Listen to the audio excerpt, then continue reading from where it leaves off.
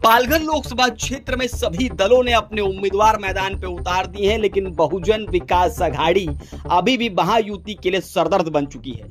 महायुति ने अपने मंच पर एक ही दल पर अधिक टारगेट किया, वो है बहुजन विकास अघाड़ी और बहुजन विकास अघाड़ी से इस कदर महायुति घबराई हुई पालघर लोकसभा क्षेत्र में कि मंच से उन्हें सीटी की गोटी गायब करने वाला बयान सार्वजनिक तौर पर देना पड़ रहा है। सीटी निशान पर लगातार टिप्पणी करनी पड़ रही है।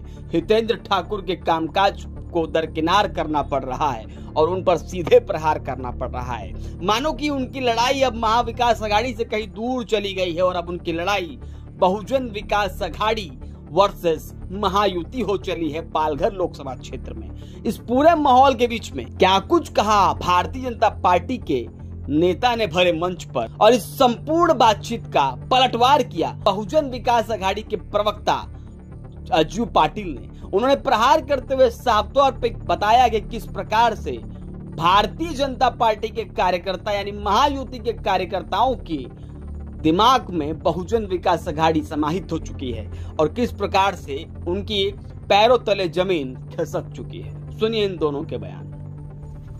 चिट्टीची आतली. मोठी. वीस तारखेला आम्ही निसटून टाकल्याशिवाय राहणार नाही.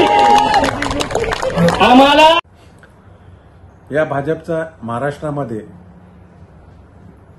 अश्वमेघ जो आहे तो बहुजन विकास आघाडीने लोकनेते हितेंद्र ठाकूर यांनी अडवलेला आहे. त्यांना पालघरमध्ये पाहिजे तशी एंट्री मिळत नाही बहुजन विकास आघाडीमुळे. त्यामुळे कमरेखालचे वार आता चालू केलेले आहे. याआधी देखील बहुजन विकास आघाडीची निशाणी चोरण्यापासून प्रत्येक वेळी त्रास देण्याचा प्रयत्न केला कारण त्यांच्या मार्गामध्ये अडसर बहुजन विकास आघाडीचा आहे. त्यामुळे आता त्यांच्या पायाखालची वाळू घसरल्यामुळे बहुजन विकास आघाडीवर असे आरोप ते केले जात आहेत. परंतु येत्या वीस तारखेला येथील जनताच ह्याला उत्तर देईल आणि बहुजन विकास आघाडीच्या शिट्टीमध्ये किती दम आहे हे येथील जनता दाखवून देईल.